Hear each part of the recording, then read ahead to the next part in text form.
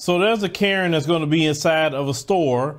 Now, the woman that's going to film this Karen, she saw that, you know, she was having uh, some issue with her child. The child was running wild.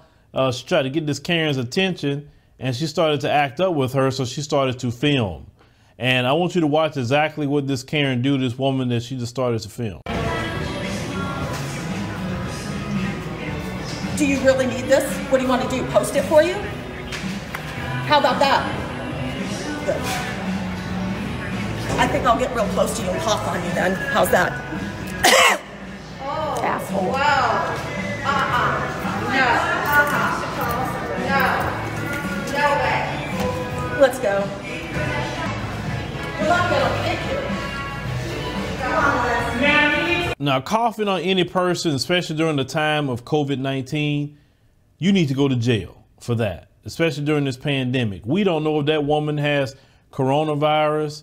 Now, I, I read off of the Facebook post that the woman that did record this, she said that she's going to have a coronavirus test now because this woman actually went up to her and coughed in her face. Listen, I wouldn't have stood there silently and let her cough in my face. Man, look, you get in my space and you go to cough, I'm about to pop you right in your mouth because ain't no way you about to cough in my face like that, especially during a freaking pandemic. No, I am defending myself at that point.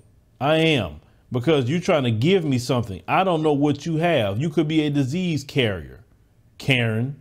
But this is what they do. And I've seen many Karen videos where they going up to people and coughing in their face. I mean, just some nasty Neanderthal behavior. Nasty. And then this is the kind of people we got roaming around society.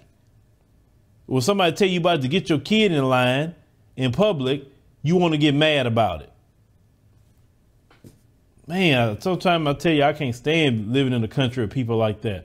I wish we could ship all those people, all the Karens and all the Kevins and everything else, ship them all to an island and let them live by themselves, away from everybody else. But leave me a comment that knows thing about the situation, you know, in this video. Now, if that Karen would have coughed in your face like that, how would you would have handled it?